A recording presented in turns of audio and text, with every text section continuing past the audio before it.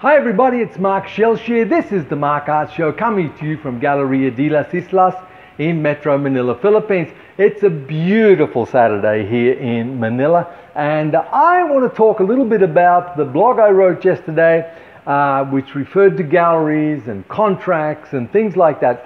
A few people seem to have got a wrong idea from it. I wasn't saying that galleries were wrong to contract artists. I was saying that artists must be very aware of what they're getting themselves into. Now, it does seem wrong when we say, well, uh, an artist contracted to the gallery for three years at a certain monthly stipend, and then the gallery gets the paintings.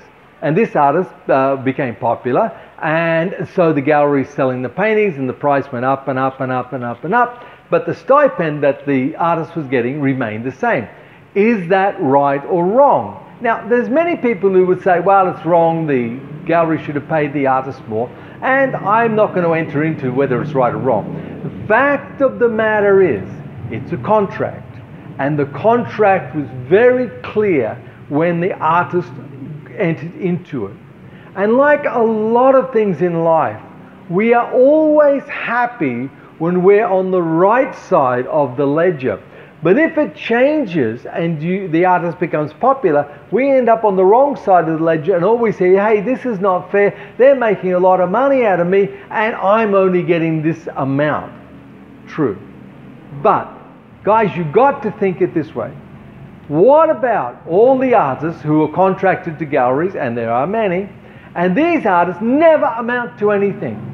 Then the gallery sits back and says, Wow, I got another three years, I got to pay this guy, and uh, his art doesn't sell, it's not very good, I'm not happy with it, I'm contracted, and then the gallery's on the wrong side of the ledger and they have to wear it.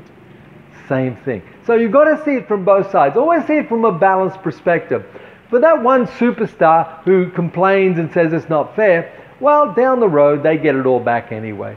But think about all the times when the gallery does get an artist who doesn't sell, and all the gallery ends up with it is a whole heap of paintings which are unsaleable. What do you do? So think about that way. Also, remember this it's really blind to think about anything that without understanding that a gallery is a business. Galleries are in business to make money. Yes, they take 40%, but usually they pay all the government taxes. Okay? So I don't see as an artist, I never saw that galleries were ripping me off. Back in my days, it used to be 30% up to 50%. Now it's regularly between 40 and 50%. Um, uh, but uh, galleries have staff, they have rentals, they have overheads that an artist doesn't have at the same level.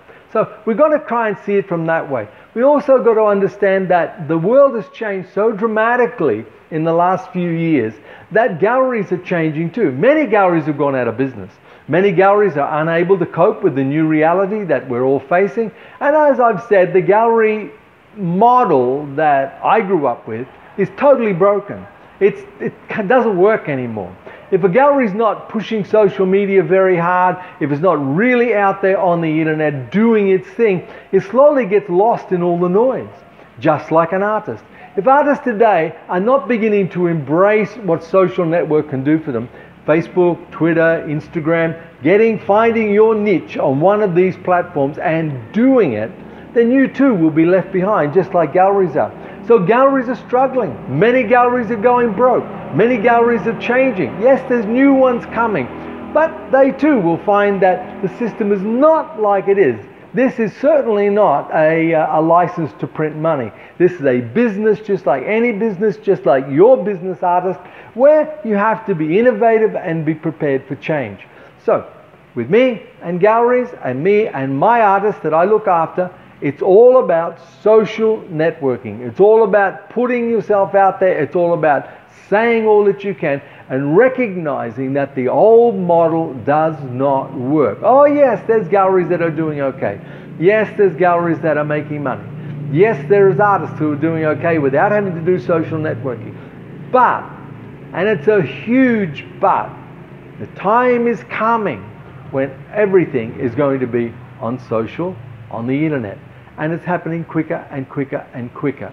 And we, as artists, must recognize this And we must begin to innovate our, our positions and our, our studios and our career so we can embrace the new normal which is coming. So I just want you to think about that.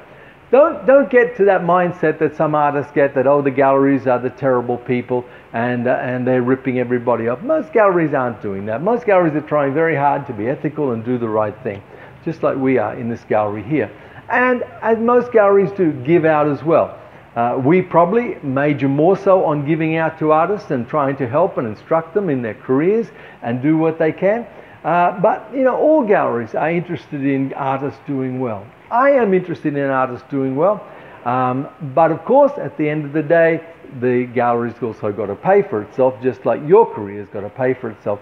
And so we come to that terrible position that many artists don't like, and that is we all need to sell. You and I have to sell to remain in business. You, as an artist, have to sell your product to remain in business, and I, in a gallery, have to sell my product to remain in business. So we're learning to change. We're learning new things to do. I certainly am. I know as a gallerist in this position, uh, I don't know how much longer I will be a gallerist for, but as a gallerist at this point of time, I see that innovation is the only way that we're going to go ahead.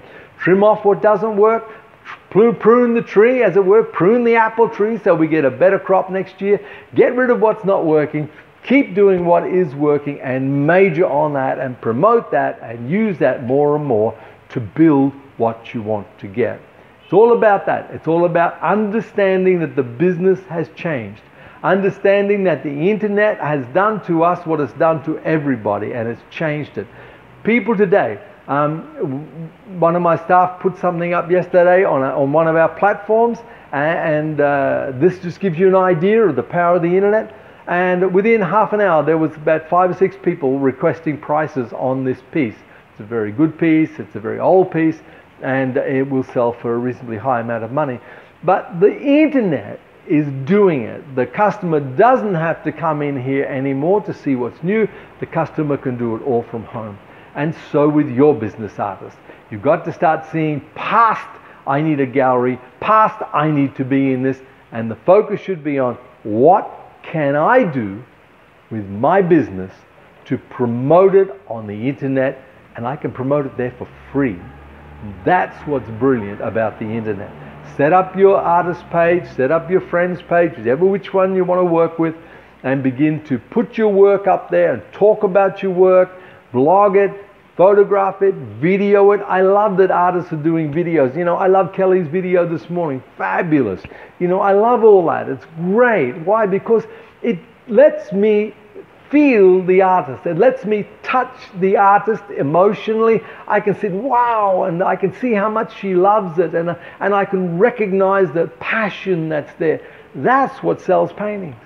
That's what changes people. That's what makes someone going from, oh yeah, it's okay to, wow, I love it. That makes the change. And so, artists, it's really easy to do videos, it's really easy to do a blog.